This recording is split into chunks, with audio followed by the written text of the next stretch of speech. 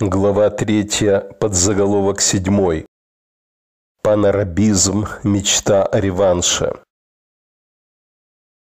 Именно глубокая фрустрация арабов, вызванная их неспособностью объединиться и утвердить на прочных основаниях свой политический статус, является причиной того ликования, которое охватило арабские массы на огромном пространстве от Марокко до Месопотамии, когда Саддам Хусейн захватил Кувейт.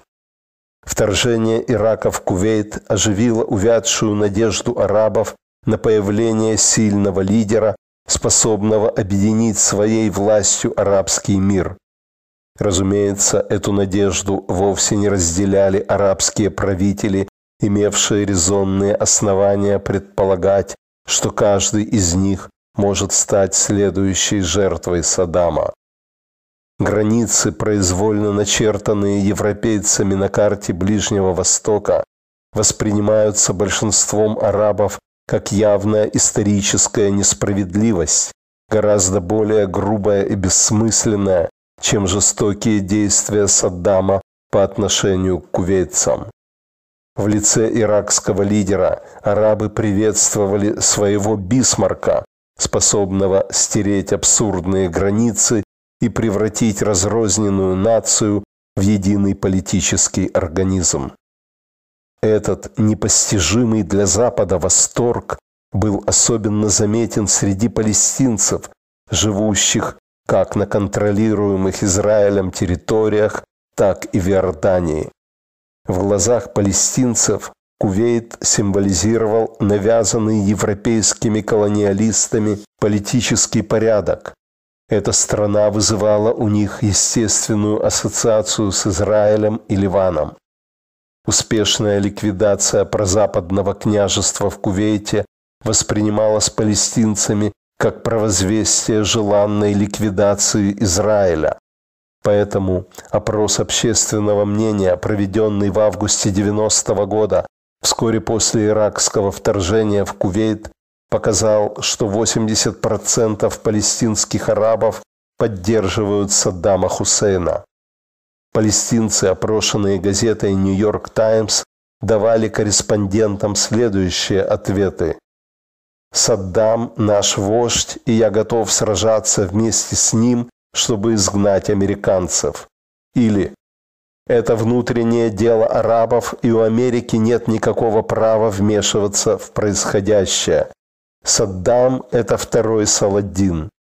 Или если Саддаму удастся прибрать к рукам кувейтскую нефть, он покажет всему миру, что его страна – это подлинная держава, арабская держава, ее мощь и оружие будут использованы в наших интересах.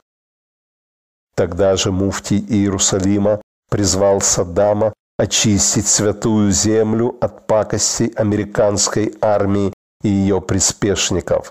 Конец цитаты.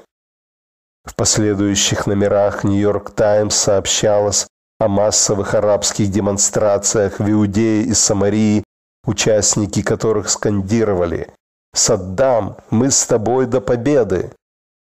Мечта о возврате утраченной славы и народное негодование по поводу искусственных колониальных границ – таковы идеологические основы панарабского национализма, ставшего ко времени окончания Второй мировой войны самым мощным политическим движением в арабском мире.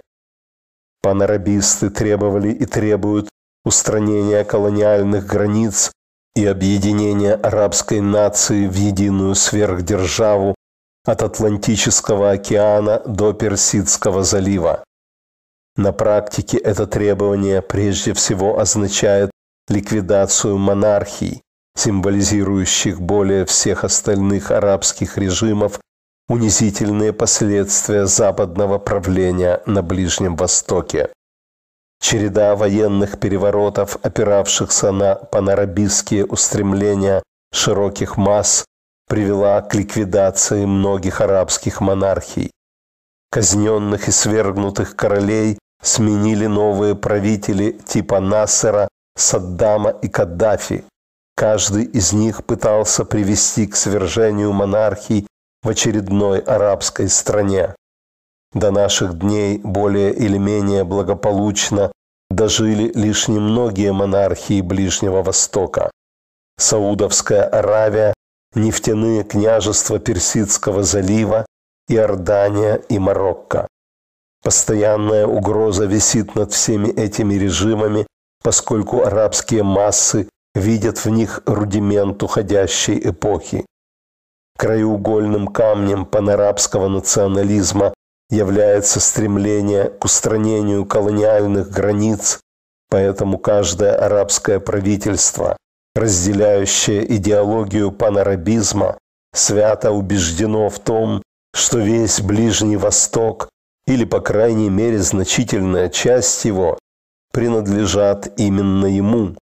Эта убежденность обусловила египетское вторжение в Йемен в 62 году. Насеру был необходим плацдарм на Аравийском полуострове, с помощью которого он мог бы расширить рамки своей экспансии в регионе. Тем же объясняются попытки Саддама освободить арабские земли в кавычках в Иране, а затем в Кувейте. Список можно продолжать. Сирийская аннексия Ливана, 91 год, а двумя десятилетиями раньше, в сентябре 70 -го года, Сирия пыталась захватить и аннексировать Иорданию. Лишь убедительная израильская угроза, доведенная тогда до сведения сирийских лидеров, спасла короля Хусейна и сохранила Иорданию в качестве независимого государства. Несмотря на общее для большинства арабов неприятие современного политического разделения, панарабизм так и не смог изменить установленные Западом границы. Словно оправдывая предсказания Лоуренса, панарабский национализм оказался не в состоянии выдвинуть доминантного лидера, призванного привести к появлению единого общеарабского государства. Разумеется, в претендентах на эту роль недостатка не ощущалось. Так, например, официальная государственная карта Ливии демонстрирует, что широко распростертые объятия Каддафи охватывают весь арабский мир. Панарабисты в Египте, Сирии и Ираке всегда исходили из того, что будущая арабская сверхдержава будет создана на государственной основе, соответственно, Египта, Сирии или Ирака. По иронии судьбы, именно разногласия между различными режимами, разделяющими идеологию панарабизма, оказались главным препятствием на пути к арабскому единству.